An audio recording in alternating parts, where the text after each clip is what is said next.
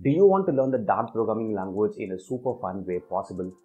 What up guys, I am Barath. In this video, I'm going to be sharing with you guys what is the possibility of learning the Dart programming language in the fastest and fun way possible through the Dart programming language tutorial series.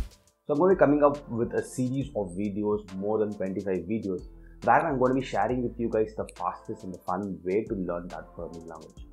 I'm going to be sharing with you the entire concepts of Dart programming, how easy it is going to be, and how you can learn it in the fastest way.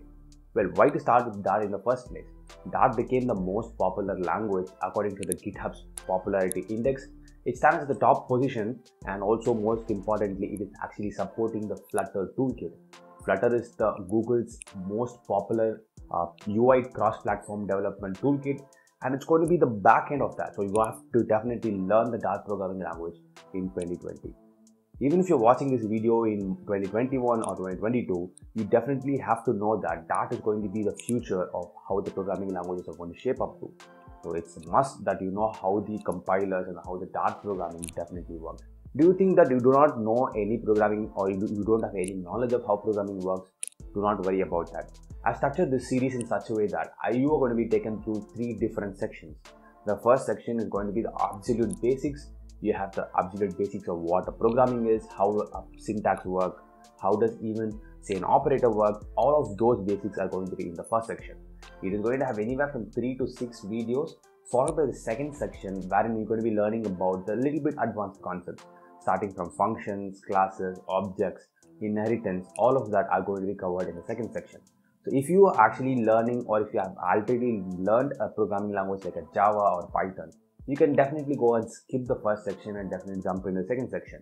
Once you are done with the first and second section, the final section is going to be how you can do a lot of complex things like say for example you want to create your own application. You can even start working on the Flutter toolkit directly from there and take it up from there. So I've structured it in three different sections close to six videos per section and we are going to be learning the entire programming language in just those three sections alone. I know that a lot of you people think that it's going to be difficult to sit through a series of videos and learn a programming language but do not worry. I'm going to be giving you guys a lot of different ways to learn the programming language. I'm going to be making it as fun as possible. I have different animations going here and there so that it's going to be engaging for you guys and at the same time by the time you complete the 24 25 videos you are actually well equipped with learning the Dart programming language and going forward with that. Why, why? Let's get this video series started because I've got a lot of videos coming up and you should not miss any one of them.